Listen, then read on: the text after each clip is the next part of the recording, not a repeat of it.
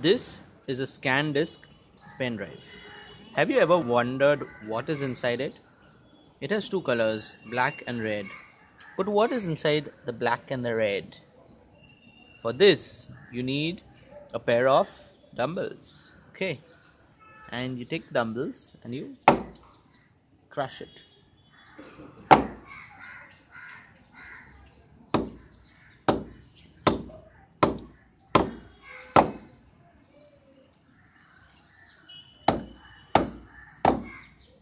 Oh.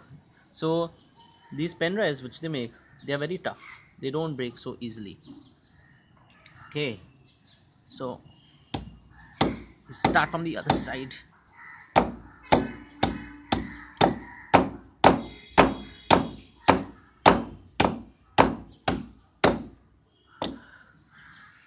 Okay now looks like I've hammered the pen drive enough to open it. So now it's time to open and see what is inside. Oh as expected inside the tough plastic case they have they have a motherboard or something like that. A chip. Yo this is what's inside your pen drive ladies and gentlemen. So this is your pen drive for you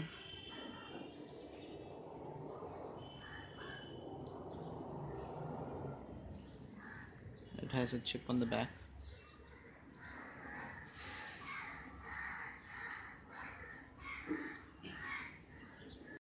Just imagine after all that hammering the chip inside is totally intact.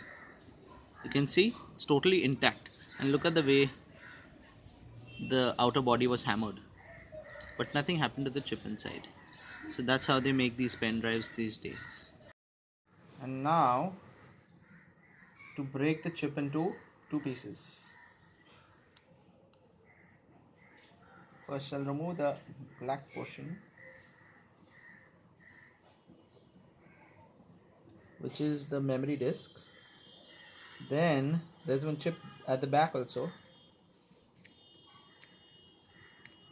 Whatever, I'm just breaking it. Ah, broke it. Woo!